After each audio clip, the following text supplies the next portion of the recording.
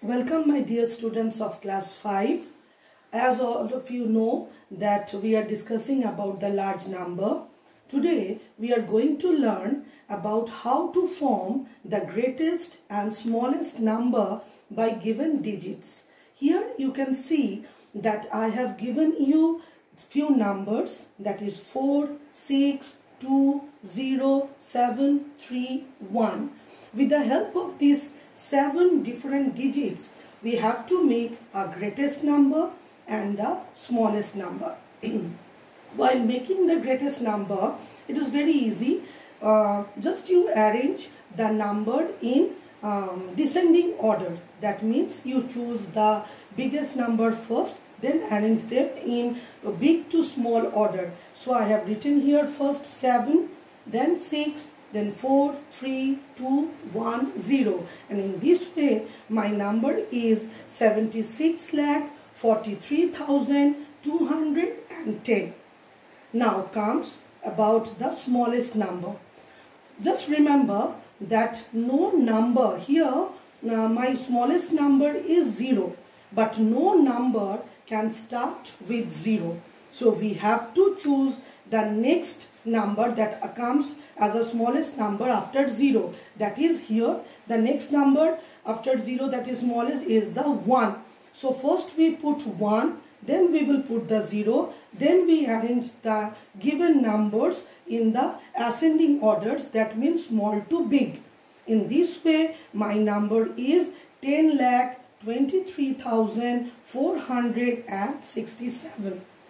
I have given you one more example, number 2. Here I have given you 6 digits, uh, sorry, 4 digits only. That is 6, 0, 9 and 8. But it is asked to make a 6 digit greatest number and 6 digit smallest number. In the bracket you can see it is written repeat digit where necessary. So while making the greatest number, we will repeat which is the great, greatest number. Here, my greatest number is 9. So I have repeated 9 three times. And then I have arranged the number in descending order. That means first three nines come, then 8, then 6, then 0. And here it is the 6 digit greatest number that is 9 lakh 99,860. While making the smallest number, again we will follow the same rule that we will not start the number with the 0. We will take the number which comes as a small after 0. So here the next smallest number is 6 that comes after 0. So we'll start 6 and we will repeat 0 here. So and then we will put the numbers in the ascending order. So then 8 and 9. So my number is 6 lakh and 80. Now we are going to start about an another important place value system that is the international place value system. This place value system is used in the many countries all over the world. According to this system, the place values are 100, 10, sorry, ones, tens, 100, then 1000, 10,000, 100,000, then million, 10 million and 100 million. If we want to divide the place values into the periods, so you can see that the 100 million, 10 million and million, they comes in the millions period. 100,000, 10,000 and 1000, they comes in the thousand period. And 100, tens and ones, they comes in the ones period. Now here I have given you one number that you have to put the numbers into the international place value system. So I have written the number.